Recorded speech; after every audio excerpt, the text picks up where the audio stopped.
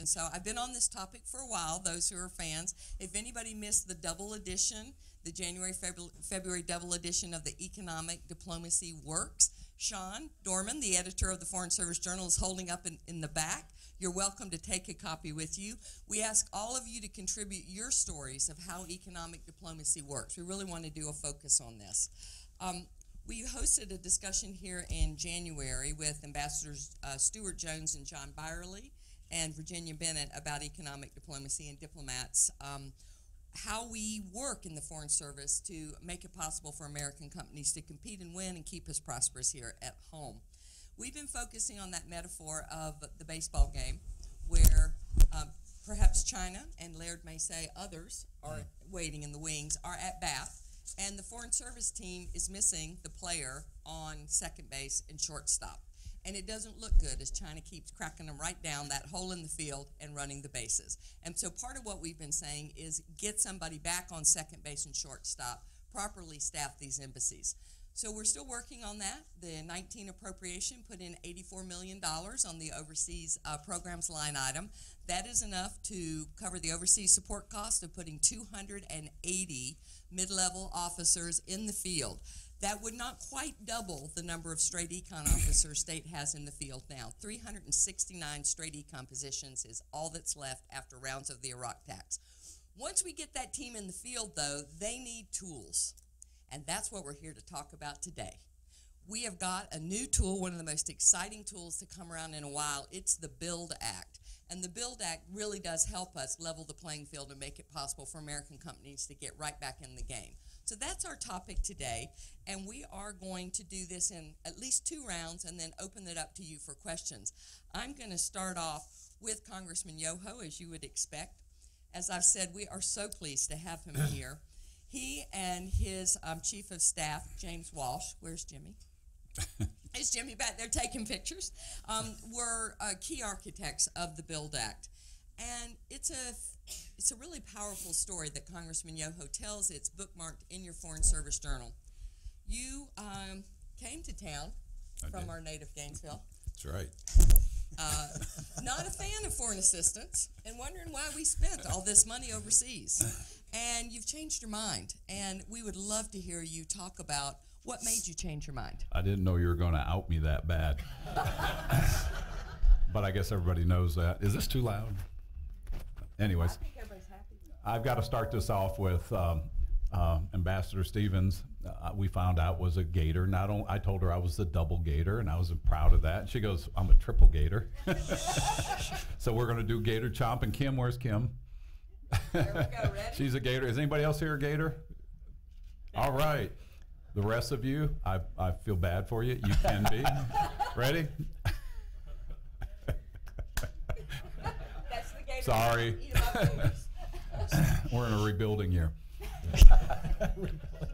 I think most of you guys know my story. I'm a veterinarian, and I came to Washington angry. Uh, I wanted to get rid of foreign aid, and what I learned real quickly is, and I tell this story. I told this in front of Nita Lowey and Hal Rogers, and they were like petrified that I was at a, an appropriations uh, hearing.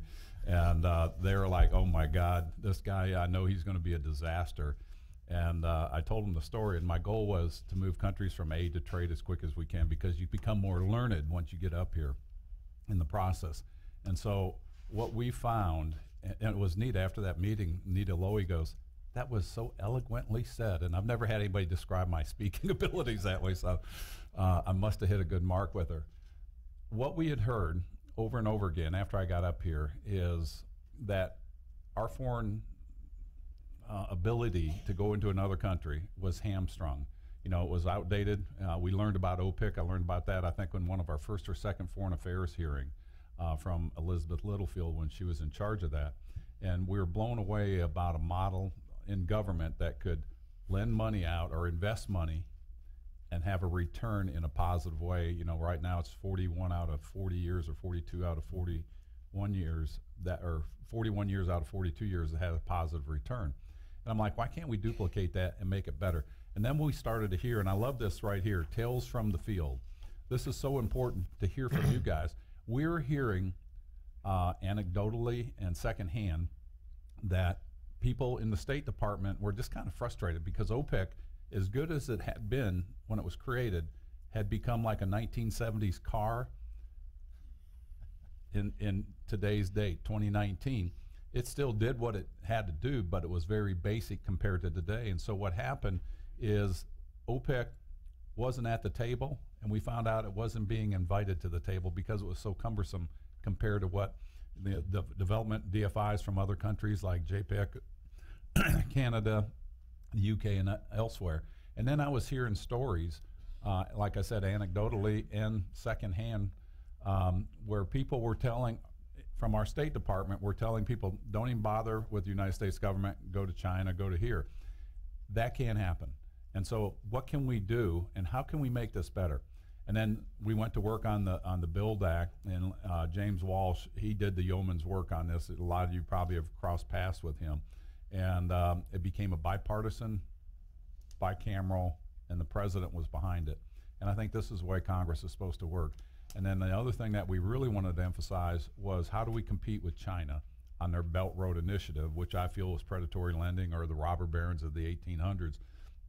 And uh, it left countries in a worse way, and it benefited China so strongly, whether it's their workers or materials and all that.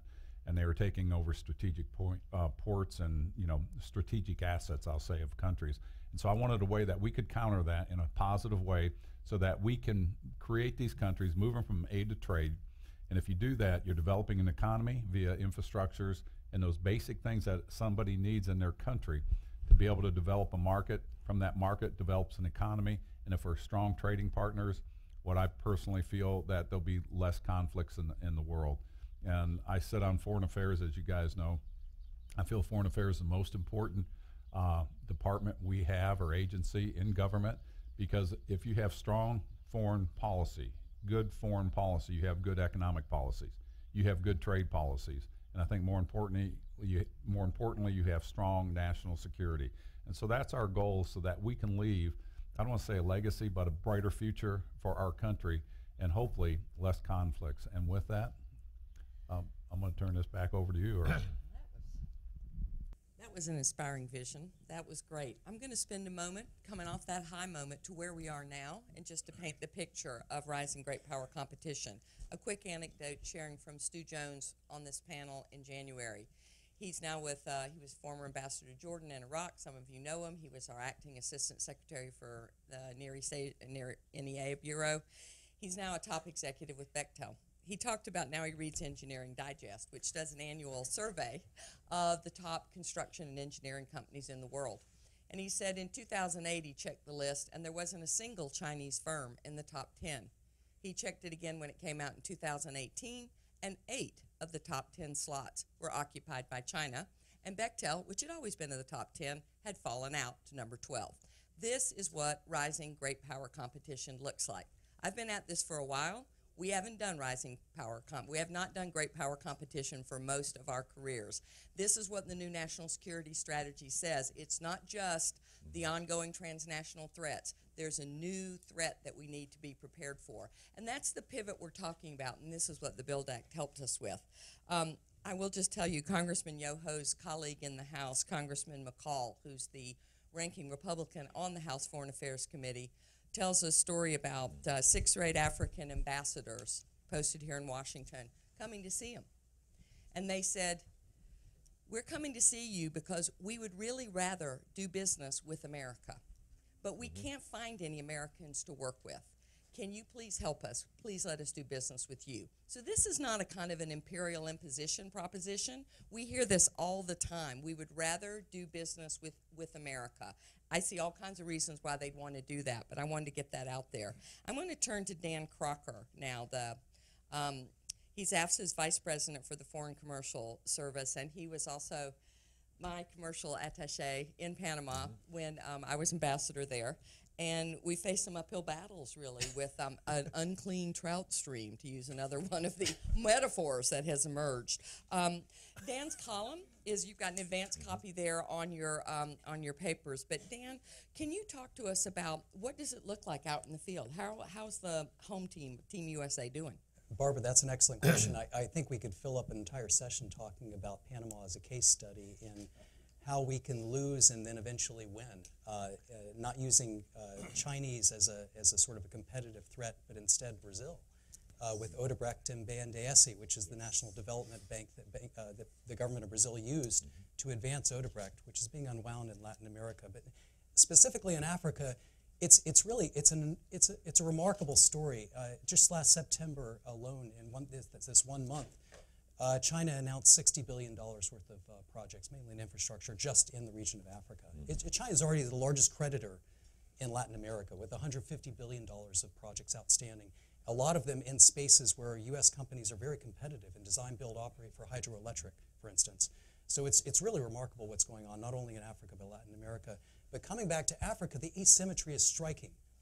We're, we, the commercial service, we only have about 230 officers worldwide and 76 posts. In Africa, we're in only 11 out of 54 countries.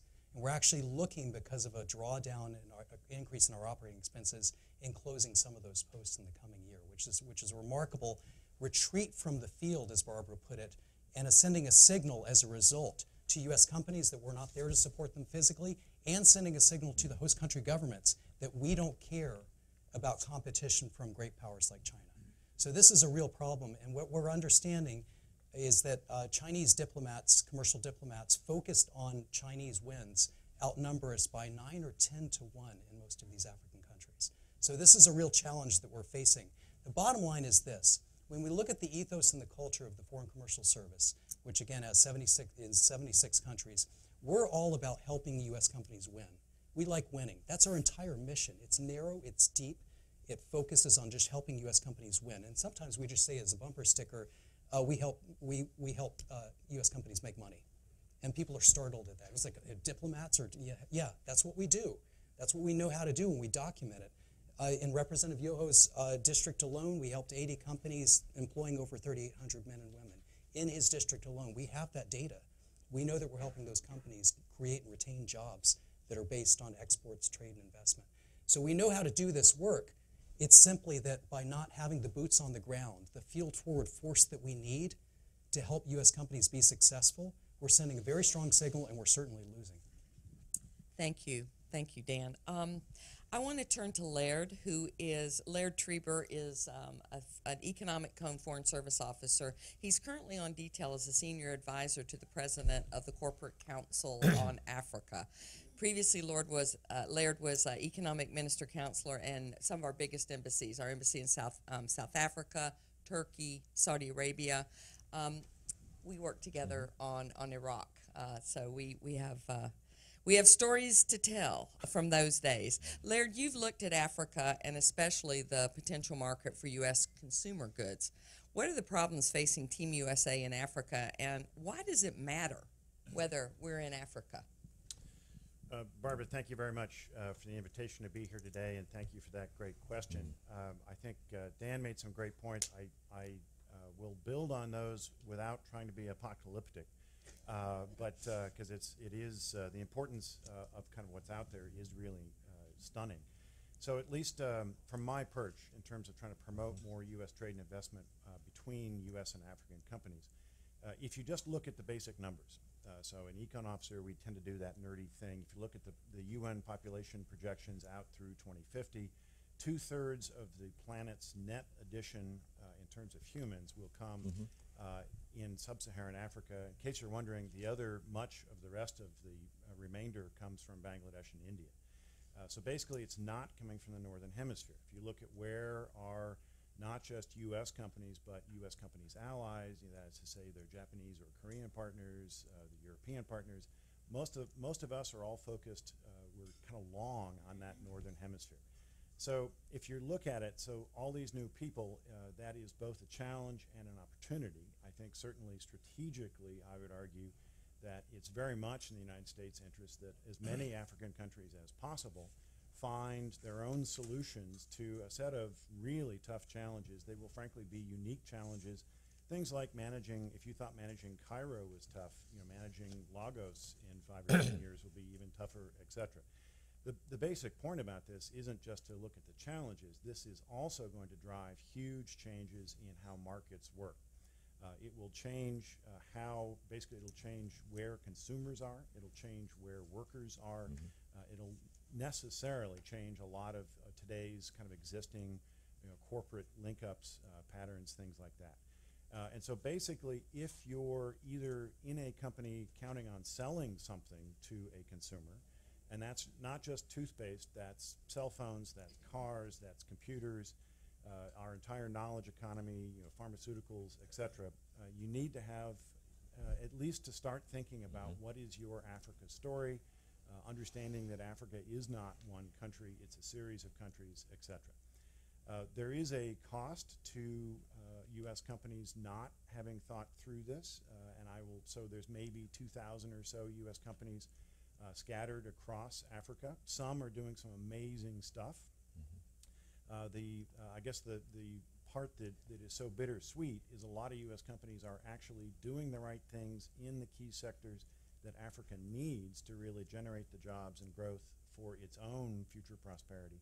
But there are so few U.S. companies that are there that, frankly, in a lot of cases, the pace of these market developments, how they get shaped in terms of standards, uh, in terms of commercial relationships, in terms of the legal arrangements, whatever else, a lot of that is being done by our competitors. Uh, and it's primarily the Europeans. Uh, it is absolutely our Korean and Japanese uh, competitors. It is certainly the Chinese. Um, to add one thing to Ambassador Jones' uh, example, I suspect uh, the other two out of those top 10 uh, engineering companies were probably Turkish.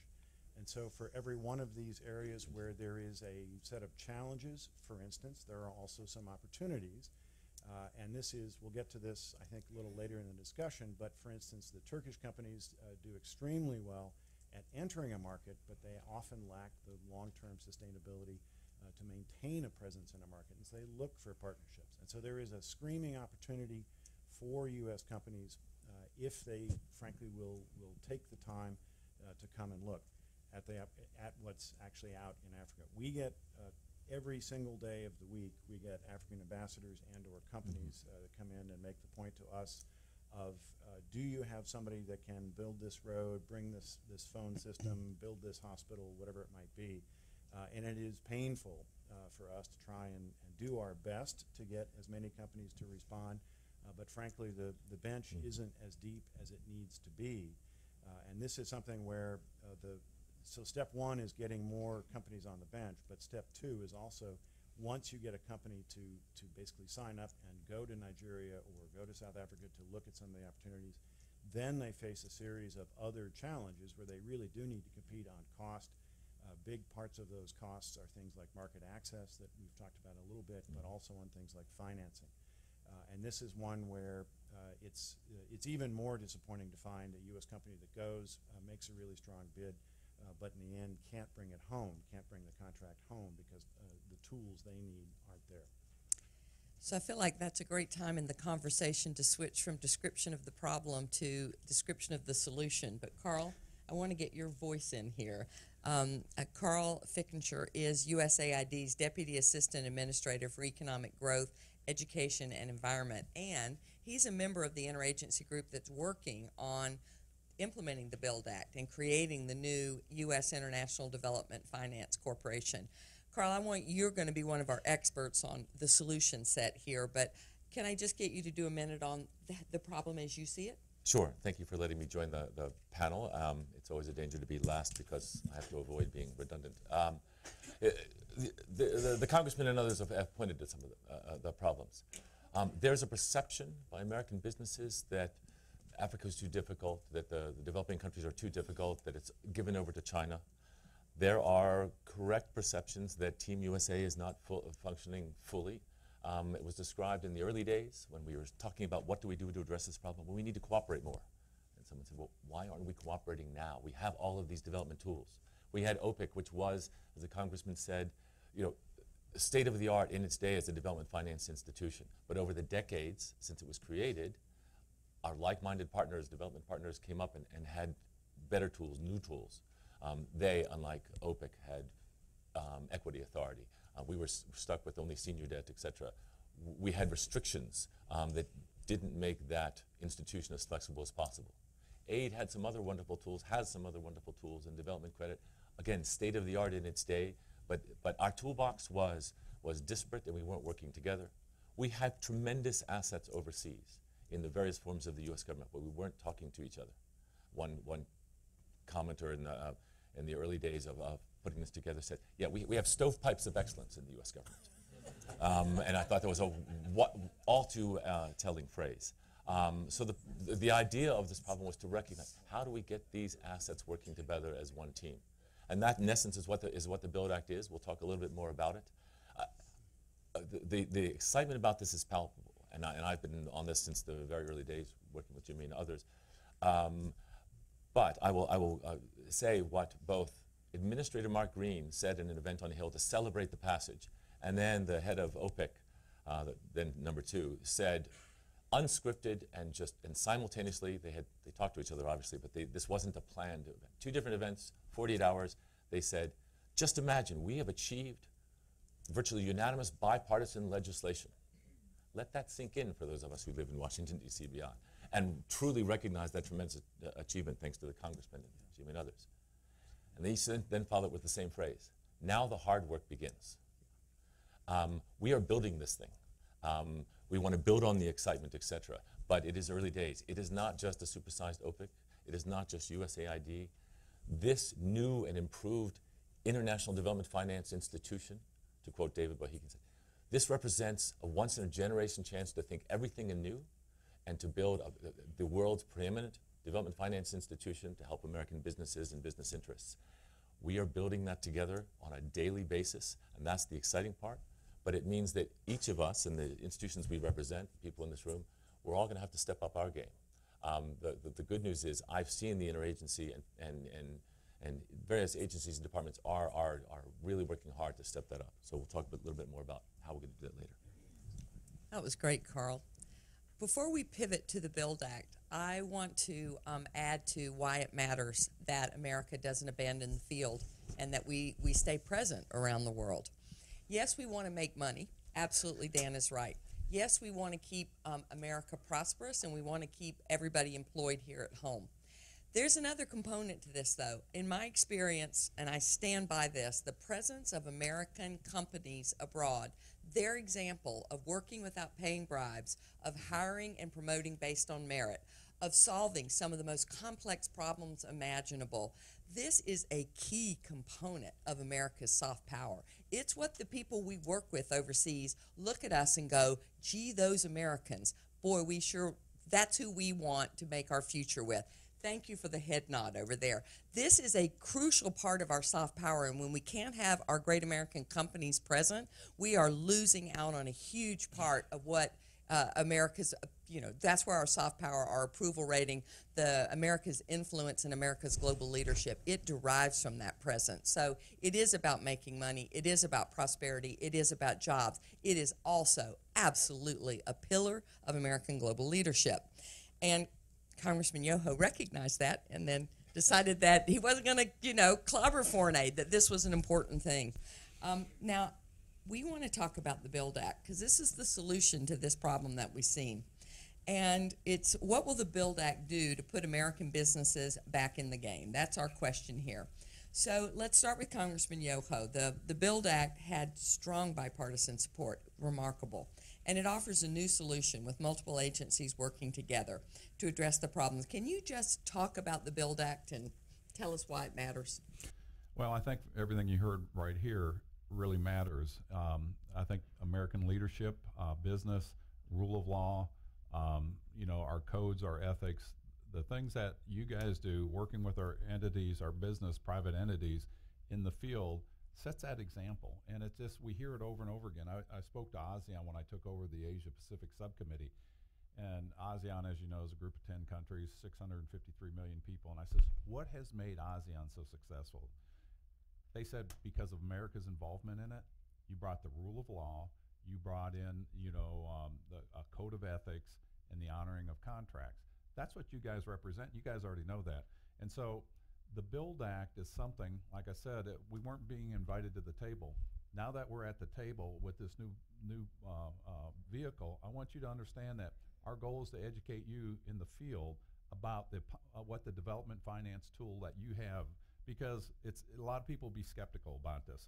Well, it's just another thing. It's going to be tied up in bureaucracy. it can be if we allow it to be. Our goal is to make sure, and that's one of the things that we've been actively involved, probably outside of the realm of a congressional office, but I didn't read the manual. is that we want to make sure this thing is implemented the way we intended it to be. Um, Barbara came in and we got talking about we need to have money appropriated for the field so that people understand what this tool is. So we put in requests for funding for AFSA so that the, the field people understand what you have so that you can talk to your, your peers in other countries. and then we are what uh, we are here to influence the impl- implementation. Like I said, it's probably outside of my realm, but we're going to make sure because it's something we've created bipartisanly. And the worst thing we can do is just put it on the shelves and say, "Well, it's there if you want to use it." We're, pushing it. Say you want to use this tool, and um, you know, if what didn't work in the past, we can get hung up on that, or we can look at the possibilities of the future with this new tool. Be creative. And I think at the last meeting you and I were at, um, I said it's okay to think outside of the box. What can you do with this that you haven't done before, and be creative. Talking to the enterprises, you know, because we're bringing in private equity that we haven't been able to do in a form like this, and so that's what we uh, hope to do. This is excellent. I am going to, I'm going to switch the order and go to Karl first because you were last last time. And under the Build Act, um, how can you talk about how we're going to get this implemented? And then I'm going to move to Dan and then to Laird. How's it going to make a difference for for Team USA? Sure. Well, right. Um, well, as was mentioned, I mean, one of, one of the several of the things that, that were mentioned, Equity Authority, for the first time ever, the U.S. government joins the ranks of the rest of the development finance institutions, and and is able to do selective choice investments in equity, probably at, at the start with other development partners, et cetera, so that we have a seat at the table. We're often we're often asked to take a seat right at the front, but then when we talk to our, our like-minded partners and say, well, we don't do equity. Well, we only have senior debt. So, so we now have the full range of tools available.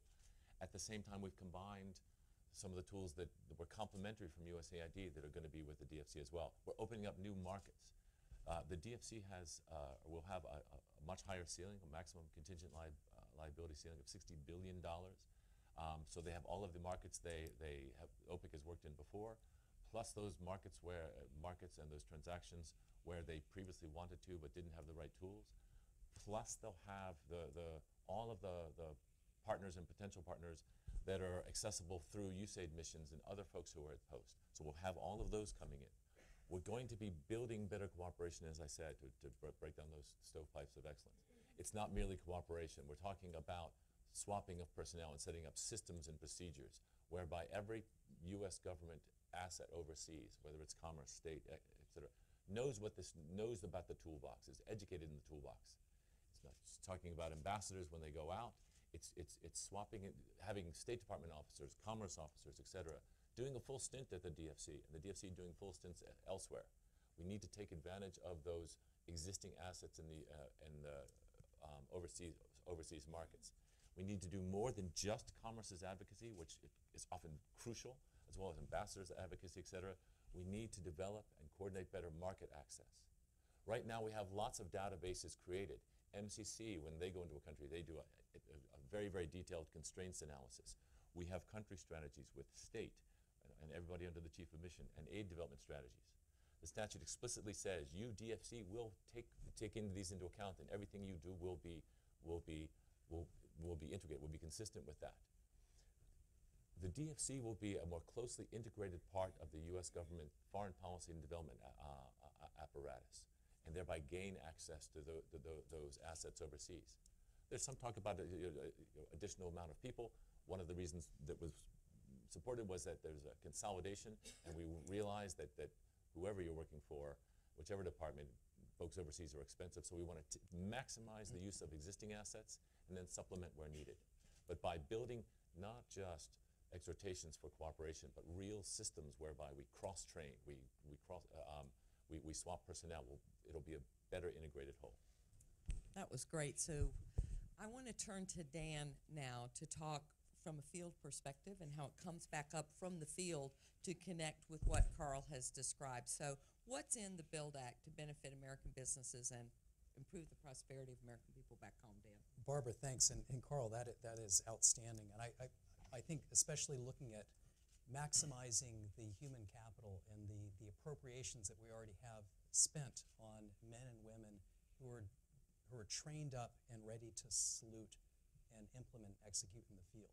It really comes down to that, and that is the foreign service in all these countries. If we look at the aspects that we need to do to support this, as Karl pointed, it's, it's all in. It, it needs to be a, a, a cultural part of it, sort of em- embedded in our DNA to do this. I will say this, though, when we look at the mechanics of actually helping companies win, because in the end, there, there needs to be this U.S. component to it. Um, there are a lot of mechanics that have to happen on the ground overseas. And the first thing that might start, if we walk through this very quickly, and I'm oversimplifying here, is, is simply the identification of an opportunity. So politicians win, you know, office and they make all kinds of promises, right? I'm going to build this and this and this and this and this. And maybe 5% of those, 5% of those, I'm sorry. Wow. I was looking who else was up here that was elected. You know those politicians, right? It's like, Thanks, Almost Dan. all politicians. I, I'm often told I'm a better engineer than a diplomat. It's maybe true. So, uh, like I, you know, it basically there there are a lot of aspirational you know, projects out there in the developing world. Let's let's focus on the developing world. So it's a hospital project and this and that, and we need to separate the wheat from the chaff. And you've got to do that by boots on the ground. Is it realistic that the government, of this newly elected government in Uganda, is actually going to build a hydroelectric? Right, a simple project like that. And we need to assess that. We assess the viability of that project. Not only the viability of the project as it is, but the viability of the project in terms of the U.S. commercial interest, right? So that's the first step, and we need the boots on the ground to do that. The second step is this getting the message out about the viability of that project to relevant U.S. companies. Laird really put his finger on this. Uh, the U.S. Commercial Service has a U.S. network of um, 230 people serving in 106 cities, including Jacksonville, uh, serving serving your district, Congressman. And, and basically, what they do is they work with over 100,000 companies, U.S. companies, 33,000 of which each year are assisted directly with our efforts. So we have the network to get the message out, and we're building out a platform that delivers actionable and relevant sort of market intelligence, you know, leads, if you will. And so that's being worked on as well. And so there's a, wet, a way to get that out. Then when you have U.S. companies interested in it, uh, you actually need those U.S. companies to actually come and look at the project, right? And they do it in two areas. One is they meet with host country government officials, and we facilitate those meetings. They find out about the viability, and they try to influence the requirements up front. Because you never want to go into a tender downstream when the requirements are already cooked to favor some other competitor. So you need to have those meetings, and again, boots on the ground, arranging those meetings. But then you need ongoing representation at that local level in Uganda, because you can't dial it in from Wichita, Kansas, right? So you have to actually identify trustworthy local representatives. You have to sign them. You have to know that you've got an arbitration clause because the rule of law doesn't work in Uganda, right? If something goes wrong, you need to know they're trustworthy. So those those uh, trustworthy local reps are people we vet at, out of the embassy and and we actually uh, contact. Then when the U.S. company says, "Look, I want to do this," and it costs over a million dollars to bid on some of these projects, right? It's a lot of money and time. Then the formal advocacy, Karl, as you mentioned, kicks in. And last year alone, the, the Advocacy Center facilitated what over $73 billion of U.S. wins. This is big, guys. This is big stuff. And so, so the Advocacy Center out of, of the Commercial Service coordinates the interagency vetting of the U.S. company for reputational risk and also uh, determines the U.S. content. If the company doesn't win, then it becomes a market access issue. Was the whole thing cooked all along? and we go to bat for a market access issue, for a non-tariff barrier, so to speak, most usually corruption. If the U.S. company does win, it's not over yet, right? Again, boots on the ground are needed. Take this, this is design, build, operate, folks. We're not design, build, and go home. We're talking about long-standing investment in sustainable economic development in these countries on the infrastructure side. And so when you have AES, for instance, operating a hydroelectric plant, within the scope of the contract, they have, they have clauses that allow them to adjust their tariffs, right? They have uh, unanticipated operating expenses that increase. They need to adjust their tariffs. Well, the host country government in Uganda doesn't like that because it means the population has to pay a higher tariff rate for electricity. So they say, no, you can't do that. Well, that's a violation of the contract. Who goes to bat for them? The Foreign Service on the ground. The Foreign Service on the ground. It's protection of U.S. commercial interests. All of those things need to be done in addition to the financing component that essentially lowers the hurdle for the internal rate of return that a U.S. company needs to show its board of directors in order to proceed with project. cycle of a big deal overseas that gets America back on the ground. There's a lot of obstacles in there. There needs to be rule of law and an enabling framework. And it's the kind of thing that AID and the econ officers are all building. One of the components, though, is this finance issue. And I think one of the things I want Laird to talk about is how big of a deal is that? How big of a deal is the Build Act when we think about all the obstacles that an American company faces thinking about going into Africa or elsewhere? Does the Build Act actually make a sizable difference? Can you take that on? Sure.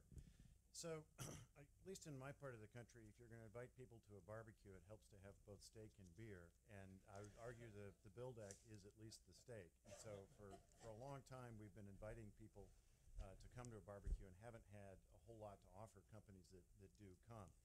Uh, as the so it's great to have the steak. It is not the entire uh, event, so to speak. It's not the you know the entire silver bullet we need, but it is an absolutely critical component.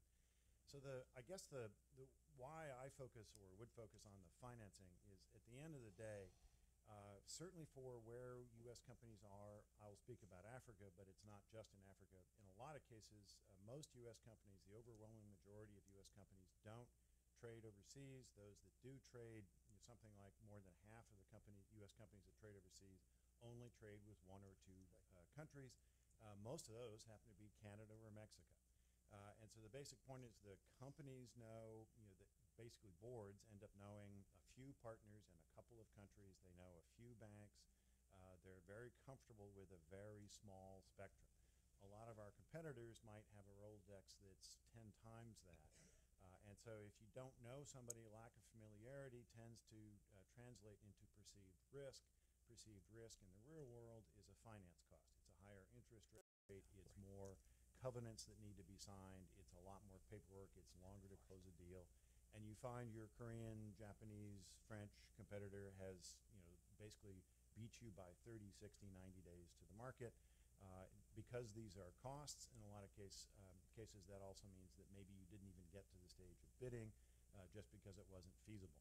Uh, so it's it's something where it's really hard, uh, effectively, just on the, the cost proposition, to have American companies be able to compete on anything close to a level playing field. We tend to be a bit more expensive for our products, but the quality tends to be higher, and so we already have a little bit of an uphill. Uh, the absence of a lot of U.S. companies in some ways may already have tilted the, the playing field towards you know, things like standards or market access, et cetera, may already be an uphill climb. So the BUILD Act being here and not just a, a refreshed OPIC, but a, if you will, moving from the K car to a Tesla uh, is going to basically allow us to show up in the market uh, in, a, in much more style. The really good thing is, I think, what I'm anticipating is as DFC gets more uh, more experience, uh, that this will be an iterative learning process. And I think uh, we know from our membership in, in uh, corporate council that the the enthusiasm from our members is already sky high in terms of uh, okay, so October second, you know, when can we start talking about some of these new things? Uh, and I think there'll be a, a real sense. I think uh, there'll be a, a, number of new worlds that can open up in terms of uh, some of DFC's institutional linkages to some of the bigger financial folks uh, who, frankly, can start telling us, look, uh, if you could create this kind of funding pipeline, you know, these are the kinds of things where once we hear more about what the world that we could create that then allows us to talk to some of these countries about, look, let's let's rejigger some of these covenants. Let's talk about arbitration. Let's talk about some of these things that might be done. Where, frankly, I think uh, uh, the possibilities for Team America to be a lot more competitive uh, will will be far bigger than we can see today. The one other piece I will throw out there uh, is the the good news is so Barbara indicated uh, that uh, that African ambassadors come in and ask where are the U.S. companies. This isn't a uh, it's not pejorative. It's not a complaint. It actually really is a real plea, and I know it's it happens elsewhere as well. But the other piece of it is uh, Africa itself is moving very quickly. So the little noticed in Washington is uh, that within two years, the African countries, African Union members, have moved very quickly to to ratify uh, the African Continental Free Trade Agreement. The amazing thing is they will, they're two countries short of bringing this into effect. Uh, they haven't yet quite drafted all the pieces. They're only getting to things like services to dispute settlement, et cetera. But this is something that's up and running very quickly. Uh, CCA uh, worked with the U.S. mission to the AU uh, on the margins of this year's African Union Heads of State Summit, and we brought U.S. companies uh, to meet with uh, African leaders to actually talk about as you get to services, as you get to some of these future uh, sectors, here are the kinds of things U.S. companies are interested in. And so we've started this dialogue, but there is this real, very well-meaning uh, African governments, African companies want to see more input from U.S. companies. They want to see more. How do, how do we develop really these leading sectors, the things where U.S. companies have great strength, the knowledge economy, ICT, advanced manufacturing, even some infrastructure projects. Uh, so this is the kind of thing, the opportunities are huge. I totally agree with Dan on the, it, it does take uh, boots on the ground, uh, you know, folks who can actually go out and have iterative cups of coffee, uh, meet with people to develop these things, you know, figuring out how to, what Africa's ICT environment uh, needs to be is not a two-week process. Uh, this is something that, that needs to be longer term, and certainly having some other things. So more boots on the ground would help. Great if there was a, a reauthorized, stronger Ex-Im, things like that. But the Build Act itself, at least, uh, really puts America a lot, a lot more back in the game, and is a great place to build on. So that's great. We've got um, the steak at the barbecue. That's the Build Act. Um, I love that, the idea that you at least need to offer people something when you invite them over. So we've talked today about this rising great power competition, and it's that, you know, we're just not, um, we're not winning uh, currently, and we want to just, it matters that we stay on the field and we stay present with our, with our great American companies. In the Build Act, we've talked about some of the, the ways that it will actually give us a powerful new tool. I want to ask um, Congressman Yoho for final comments before we open this up to questions from you. So get your questions ready. And Congressman Yoho, some final words of inspiration. Well, I think the biggest thing is you guys have a tool in your hand. Utilize it and, um, you know, offer it. We were in uh, Lao and uh, a business person came up to me and they were working on a energy project with transmission lines from the hydroelectric dam, selling electricity to uh, Vietnam. And um, we talked about OPIC, and he says OPIC's worthless for me. He goes, I've got to put all my money up front. If I don't get the bid, I've lost that. And I was telling him about the Build Act of what it would do, and he's become a regular visitor because he didn't think it was going to happen. A lot of people didn't think it was going to happen, and um, you know when you can show them that we have changed, it's a new day in American government. We are going to be competitive. We are going to be there.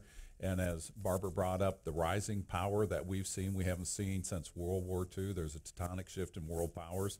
This is something that we have to have to be competitive um, with a rising China and the goal wasn't exactly to counter them, but I'm sure happy it is. And uh, you guys probably know the buzz better than I do. I know before it was passed, we were in Hawaii with Admiral Harry Harris. He was talking about the Build Act. Um, we've been in Japan, South Korea, Vietnam. Uh, Ed Royce called me up and he goes, wherever I go, they're talking about the Build Act.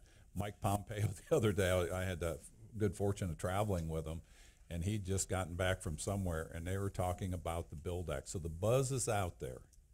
The important thing for you is to know that it's real, and we're going to do everything we can on a bipartisan way to make sure that this tool is in the forefront of diplomacy as you go forward, and have to have you have the confidence that we're going to stand behind this. We're going to make sure the appropriations are there. Uh, we're talking to the administration all the time and OMB, and so um, I- I'm excited for you about the possibilities of the future of how you can change development and our relationship with these countries. Thus, thank you. That was pretty inspirational. Let's have a round of applause. Yes, indeed. Thank you. So, Alan, am I correct that people need to? Ma'am, I believe so. Okay, hang on. Am I correct that we need people to actually go to that mic? Okay, so there we are, the shy. Come on up to the mic, ask your question, and if you're directing it to a specific panelist, just go ahead and do so.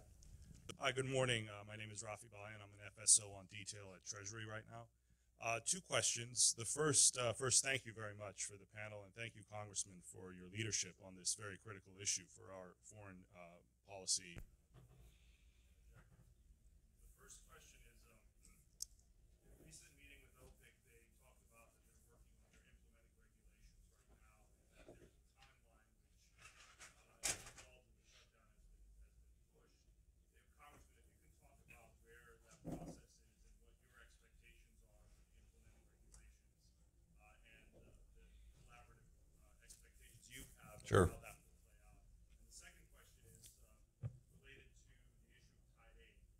we did a fantastic job in, in, in the OECD to basically uh, push against tied aid, and um, we seem to be following our own uh, uh, guidelines that we pushed OECD to adopt. Unfortunately, very few other countries are, uh, including our European and Asian allies. Um, and an example I'll give you, Power Africa, only 12% of the contracts in Power Africa went to American companies. And when American companies competed in Power Africa contracts, 67% of those contracts were awarded to American companies. Um, how do we how do we address this issue when uh, our European and Asian allies often go into these processes where they link their aid to their commercial opportunities for their companies uh, that are following up and often succeeding in achieving those commercial opportunities and, and gaining not those op- not only those opportunities, but as you were talking about, Barbara, building on that within those countries and developing a network. Thank you. Have Karl take the first shot. Which would you prefer? Let me answer that first part of that. Um, God, what was the first part of that? Oh, the review, the administration. Implementing regulations, the administration, they had a hundred and twenty day period of time that they had to come out with, that report's out. And, um, James Walsh is back here, he may have to answer some of these for me. Um, so we want to make sure that the report is out, that we can go on to the next phase to implement that and to make sure that they follow through with that. And that's something, like I said, we're, we've got our hands on this. And, uh, I know these other agencies aren't used to having congressional offices do that, but until I'm told not to, we would still probably do it. Um, but we want to make sure that they are accountable, that they follow through, that they put the right people in place at the right time so that October 1st of 2019, we're still looking at the rollout of this. And uh, that's our goal. As far as the tied aid, um, we can defer here, but that's something that I think by bringing in uh, private equity, I think you're going to see a whole different dynamics than we've seen in the past. And that was one of the goals with this. Is any, Karl, you want to weigh in on that? Well, a couple things. First, uh, the, you know, the Build Act gives us an increased set of tools. We talked a little bit about um, some of the things that were different. One of them is OPIC's requirement is a U.S. nexus. Uh, over years, that's that's that's come out to be a, a somewhat rigid sort of barrier, of, threshold of 20 to 25 percent for a particular deal. Under the Build Act, there's a, a, a preference, which is a, a, a more flexible tool. Um, we, we found OPIC was doing an increasingly good job with clever lawyers of, of finding that nexus, et cetera, to do the deals, but they were still precluded from some because, because there was a, a rigid tie. With preference, we still want to push for American firms, American business interests, but it, it, it will enable the new DFC to look at the mix, to, to get the intel from the assets on the ground, for example, and then get the right combination of folks. We're going to be, so on the one hand, increasingly encouraging American firms to, and uh, highlighting the opportunities, bringing a better set of tools to mitigate the risk, to help them come in, and at the same time also being able to work together in combinations on transactions more flexibly. But more importantly, th- this goes to a different model which moves away from thinking it as just overseas development assistance, official aid. And, and the, the USAID administrator talks about the, the, the country's journey to self-reliance and, and increasing private sector engagement. Uh, other parts of the U.S. government may, may not use those phrases, but it recognizes the, the, the, the difference in our model, the superior model. Yes, our strategic competitors can bring lots of state aid and, and sort of loan to own, et cetera. At the end of the day, it's not official development assistance from the American taxpayer or our allies that's going to do it. It's the essentially infinite amount of private sector capital that's going to go in there and make the investments. Our administrator in aid says our job is to work ourselves out of a job in the, in the, in the development assistance. And what's going to happen at the end? There's going to be a vibrant private sector. American businesses, American investors together with our, our, our counterparts in, in uh, um, developing countries, and the emerging markets, which are the great sectors. That's what's going to be left behind. That's ultimately more sustainable. That's why people are knocking at our doors because they recognize that, they want that. So if, so if we use these flexible tools correctly and smartly, we're going to marry up private, uh, private American investors with local investors, which are stronger. And that's not tied aid. That's just a, uh, that's a, a better functioning markets. That gets away from that whole paradigm. I hear Dan just chomping at the bit here. I, ju- I just want to I, want to offer a concrete example because I think there's a there's a there's an argument to be made for U.S. company national interest being being involved and without the linkage. And just to give you a certain example, in Panama we worked very closely with the U.S. mining company, uh, copper mining company, and what that U.S. copper mining uh, company did was it was adhering to environmental and social impact. Right, it really was doing its due diligence, but it also did something very significant that I found striking. In Panama, they needed certified welders. And instead of importing an army of people from, uh, let's say, China, which is frequently the case, was sort of this, this, is a, this is a clause that you have to meet. We're going to bring in the entire workforce and do it. They were taking pains to bring in trainers and also talking with us about our consular affairs uh, so that they could train Panamanians to become certified welders based uh, up to U.S. standards. That's investment that U.S. company does in workforce capacity and sustainable economic development of the country.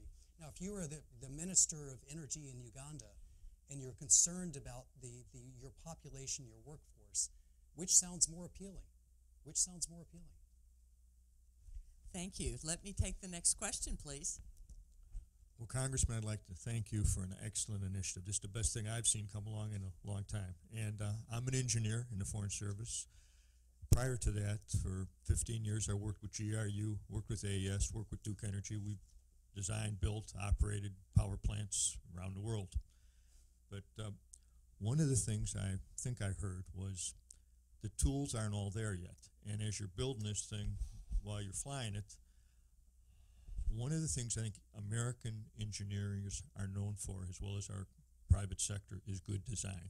We build things well, we build things safe, we build things reliable, built on well known international standards. And it's tough for a private company to fly in and fly out with engineering on the quick. So, where is the core competency of engineering and technical know how going to sit in this thing? Because for a private company, to do good design, it takes on the ground.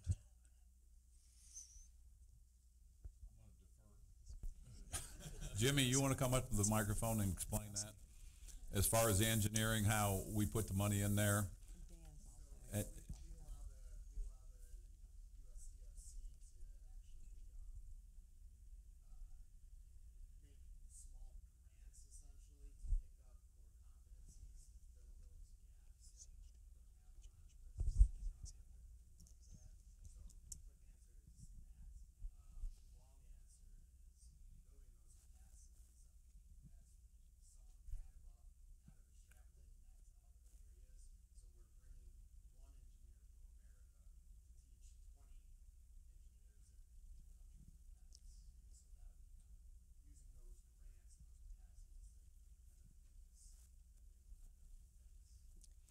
Dan wants to weigh in on that.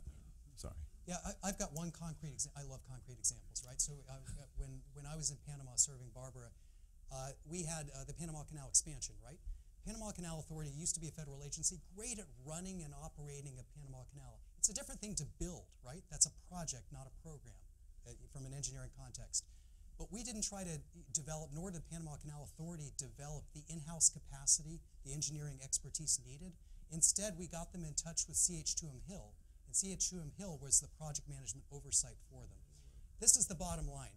You don't want, and I know this will appeal to you, Congressman, um, you don't want to ask government to build all this core competence that you mentioned is necessary. We're a private sector economy. We've got those skill sets in the private sector. We want to provide a convening authority, a forum, where we identify those opportunities and we bring in the best, the best engineers from the private sector. That's what we. And I think that goes back to the basic question that you asked is the private um, sector expertise is really what's coming on board here.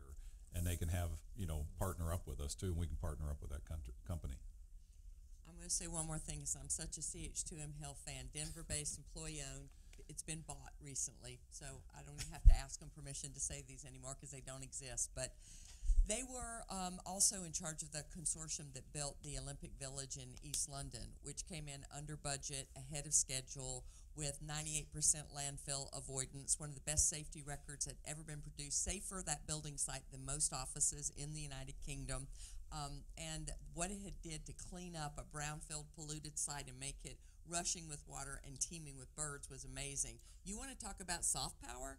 You talk about how an American company can come in and run a project this way and deliver these kind of results. Folks, that's soft power. Please, next question.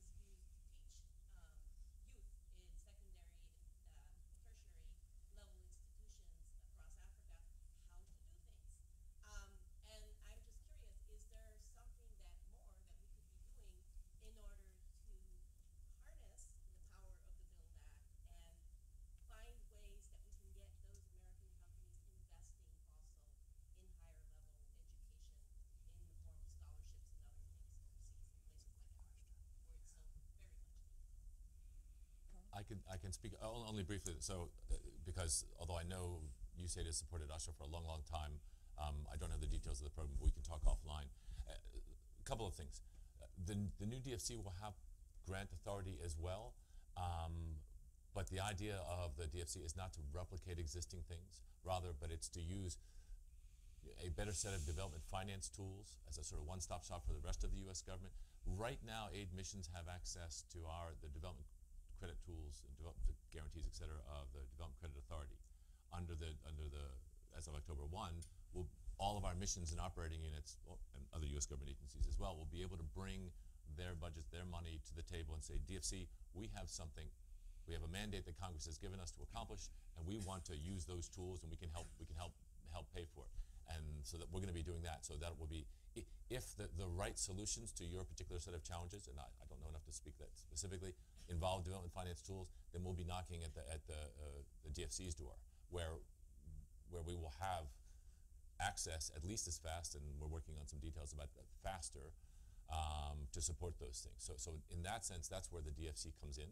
Um, aid, by the by, is also really thinking about how we work better, and our economists are debating how we how we better groom the workforces of, uh, of tomorrow uh, abroad. So let's have a conversation offline after this. I'll be glad to, to talk in more detail.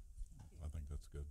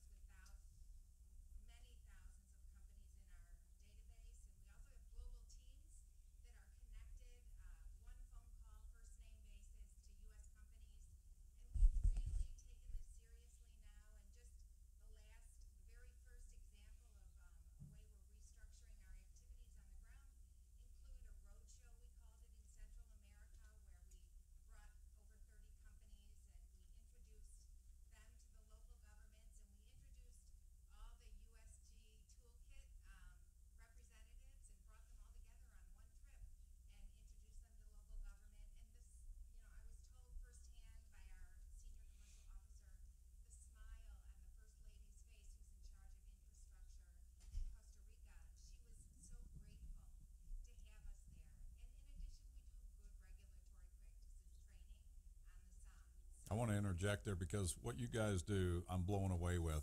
We see it over and over again when I travel to a different country. The, the State Department's there, they have that, as you said, the first name basis with all these different companies.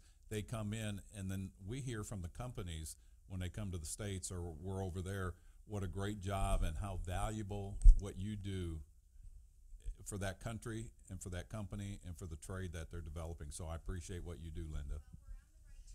Thank you, Linda. It's nine fifteen, and I'm gonna actually wrap us up. is to pay closer attention to that overlap where aid to trade meets and the role that the commercial service plays versus the honed officers in the state. Thank you. Thank you, Linda. Thank you. We're at nine fifteen. I promised you nine fifteen. We did not get the last couple of questions, but um, thank you. You were a terrific audience. And I don't think we're going to end on a higher note than your thanks for being in awe of the work that we do. And we are so grateful to you, uh, Congressman Yoho, for the leadership that you've shown to get America back in the game with a powerful new tool. Can we have a closing round of applause here?